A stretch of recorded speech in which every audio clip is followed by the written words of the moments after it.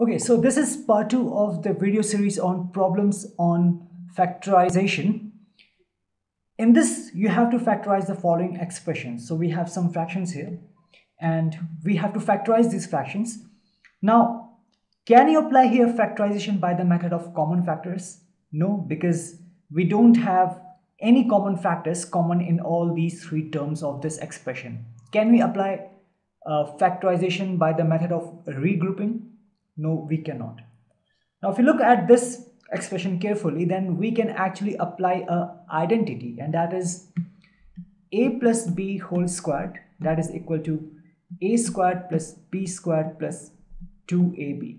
Okay, in fact, I should write the three uh, identities so that we don't have to repeat it every time. And a plus b a minus b is equal to a squared minus b squared and a plus sorry x plus a multiplied by x plus b is equal to a squared sorry this is equal to x squared plus a plus bx plus ab so these are the four identities that we will be using. In fact, in our next couple of videos, we'll have a lot of parts on the problems on uh, factorization. So these are the identities. Okay, so we can write this as a squared plus 8a plus 16 as a squared then plus and if you write this 16 as 4 squared so this is 2 times a times 4 that is a squared plus 2ab what's b here? B is 4 2ab plus b squared. It's of this form. A plus b whole squared. So this is a plus 4 whole squared because b in this case is 4 so a plus 4 whole squared is the factorization of this algebraic expression.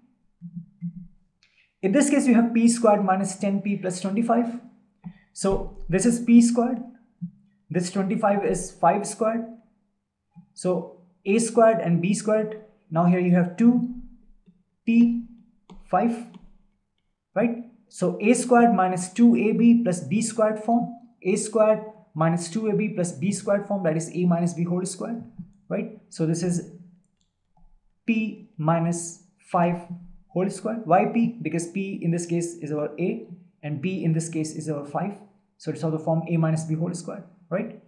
So this is a factorization of this expression. Now here you have 25m squared plus 30m plus 9. This is 25m squared, write it as 5m whole squared because 5 times 5 is 25 and m multiplied by m is m squared. Then this is 3 squared.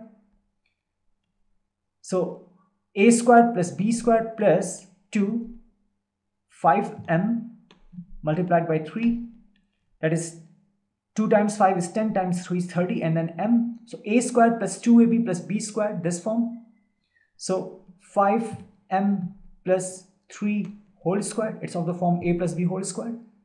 So this is the factorization of this expression. In this case you have 49y squared plus 84yz plus 36z squared. So this is 7y whole squared 7 times 7 is 49 and y squared. This is 36z squared, so this is 6z whole squared. 6 times 6 is 36 and z multiplied by z z squared plus 2 7y multiplied by 6z. So 2 times 7 is 14. 14 times 6 is 84 and then you have y and z. So this is of the form what? a squared plus 2ab plus b squared that is equal to a plus b whole squared Therefore, this is equal to 7v, 7y plus 6z whole squared. So this is the factorization of this algebraic expression. Now in this case, you have 4x squared minus 8x plus 4. Now 4x squared minus 8x plus 4 can be written as 2x whole squared. And this 4 as 2 squared. And this minus 8 as x as minus 2 multiplied by 2x multiplied by 2 and this is plus So it's of the form a squared minus 2ab plus b squared. So a squared minus 2ab plus b squared that is a minus b whole square.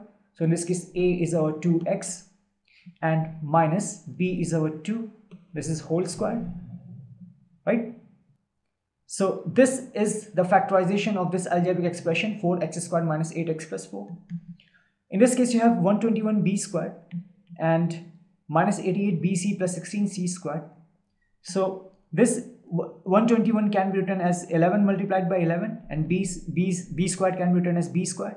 So 11b whole squared. So 11b whole squared means 121b squared. Then 16c squared means what? 4c whole squared. Right? So minus 2 11b multiplied by 4c plus so a squared minus 2ab plus b squared a squared minus 2ab plus b squared that is equal to a minus b whole squared. So a in this case is 11b minus 4c is b is whole squared. So this is the factorization of this algebraic expression. Now here you have L plus M whole squared minus 4Lm. Okay, which identity can we use? Well, you cannot use any identity on this expression. But if we change some by some a few calculations, you you can change uh, you you can use identity on this expression. How? This is of the form a plus b whole squared a plus b whole squared. So this is l squared plus 2lm plus m squared. Because a plus b whole squared is this. So we have written this. This is minus 4lm so from here you get l squared. Now 2lm and minus 4lm 2lm and minus 4lm so 2lm minus 4lm means what? Minus 2lm, right? And then you have plus m squared. Okay, so now your new expression is this. Now, if you look at this carefully, it's actually a squared minus 2ab plus b squared form. a squared minus 2ab plus b squared form. That is equal to a minus b whole squared. Right? L squared minus 2lm and m squared. So this is L minus m whole squared. Identity number 2. Now this is a raised to the power of 4 plus 2a squared b squared plus b raised to the power of 4. So if a raised to the power of 4 means what? a squared whole squared and b raised to the power of 4 means what? b squared further raised to the power of 2.